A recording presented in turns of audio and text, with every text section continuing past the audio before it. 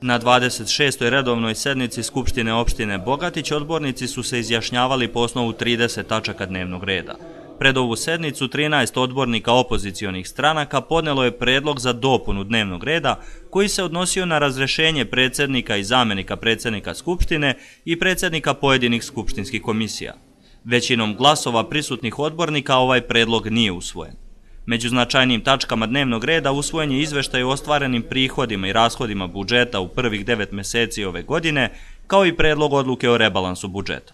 Mi smo realno isplanirali do kraja godine budžet, znači sve e, ono što želimo da finansiramo i usluge koje moramo da obslužimo naše korisnike i indirektne i direktne smo dobro isplanirali. Ja se zadovoljan sa ostvarenjem od eh, skoro 70% na 9 meseci, a mi smo znači smanjili za 20 miliona ono što što nije bilo realno planirano, ali smo smanjili rashodovnu stranu.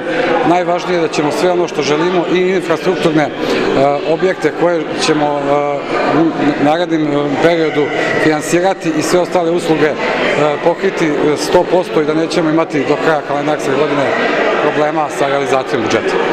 Najviše ostalih tačaka dnevnog reda odnosilo se na razrešenja imenovanja članova školskih odbora u osnovnim školama, upravnih odbora ustanova čiji je osnivač opština i skupštinskih komisija.